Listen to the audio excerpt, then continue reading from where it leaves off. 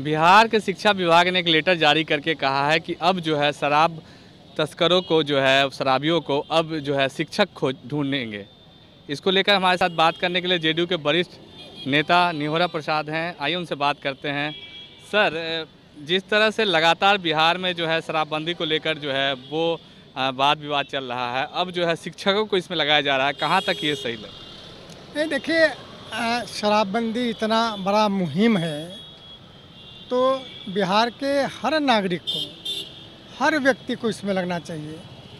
चाहे शिक्षक हो या कोई हो, नज़र जो इसके चाहते हैं कि बिहार नशा मुक्त हो तो सारे लोगों को ऐसे स्थानों पर ऐसे गाँव मोहल्लों पर नज़र रखने की ज़रूरत है। पुलिस महकमा जो है इतना बड़े पुलिस फोर्स भी है बिहार में तो क्या रहा है कि अब पुलिस जो है इस शराब जो तस्कर हैं शराबी हैं उनको क्या ढूँढने में कहीं सक्षम नहीं है कहीं? क्या पुलिस भी ढूंढ रही है। आए दिन आप देखा होगा कि छापामारी और गिरफ्तारी हो रहे हैं।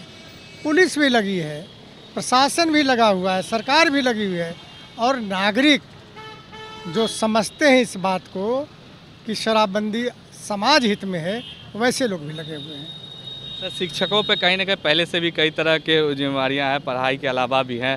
तो ऐसे में क्या लग नहीं रहा कि एक और जो है इतनी बड़ी जिम्मेवारी जब शिक्षकों को मिल जाएगी तो क्या उनका कहीं ना कहीं जो उनका मुख्य काम है बच्चों को पढ़ाना वो प्रभावित तो नहीं होगा बिहार में? नहीं नहीं नहीं प्रभावित भाई जिस स्कूल में पढ़ाते हैं उस स्कूल के इर्द गिर्द गाँव मोहल्ला पर पैनी नज़र रखें। इतना ही करना है कि कौन शराब चुआते हैं, बनाते हैं, कौन पीते हैं। ये नज़र रखने में कोई बड़ा काम तो है नहीं। ये कोई बड़ा काम नहीं है।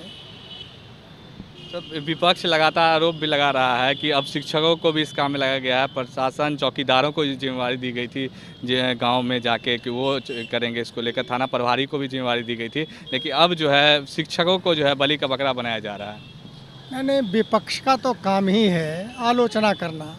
सरकार के अच्छे निर्णय का भी आलोचना कर, करते ही लोग हैं। तो ये निर्णय जो हुआ है, वो समाज हित में निर्णय हुआ है। और फिर मैं कहता हूँ कि शिक्षा की नहीं, हर नागरिक का दायित्व तो बनता है कि शराबबंदी हो, इसमें सहयोग करें।